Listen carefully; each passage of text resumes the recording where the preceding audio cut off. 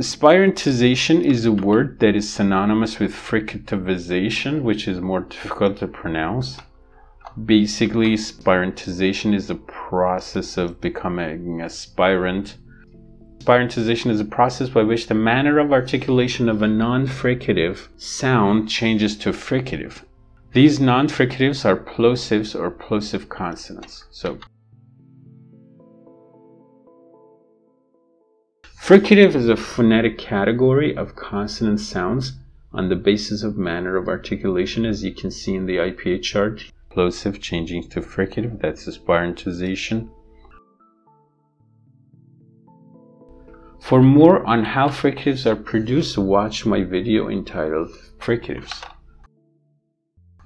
Examples of spirantization are when voiceless plosives pataka become voiceless fricatives fa, tha, and ha. You might ask yourself, why would such a thing happen?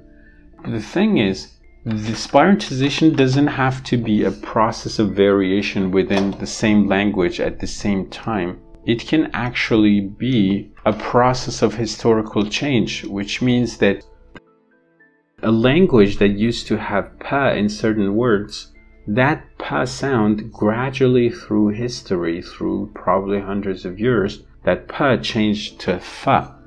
You could be wondering what languages could undergo such change. One of the most obvious and well studied or best studied examples is the Spanish language. For example, throughout the history of the Spanish language, voiced plosives occurring an intervocalic in an intervocalic position underwent spirantization. Thus, the plosive ga in the intervocalic position in the word lugar, which would be how people would pronounce the word if their first language is not Spanish. If they're learning Spanish, they might say lugar, which is understandable. The point is, most Spanish speakers, especially when they speak fast, they do not pronounce the G sound as G, they actually spirantize it or fricativize it, which is more difficult to say, so I say I'm going to stick to spirantize. They spirantize that G sound into Ra and they say something like loar. The same process in Spanish is changing intervocalic ba into va. For example, labios. Here the ba would be spirantized the labio the same process has changed voice dental alveolar plosive da into that. For example, the word for adios, you might think it's adios, but it is adios.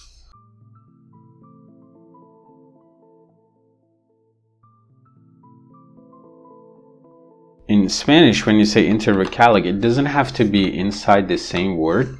So the word bota in which the ba does not occur intervocalically is pronounced like a regular ba in English, for example, which is bilabial plosive.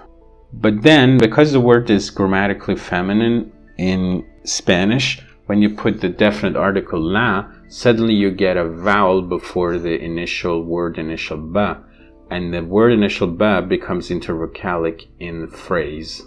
Therefore, the pronunciation becomes la bota. The same thing happens. Dota, la dota, gota, la ota,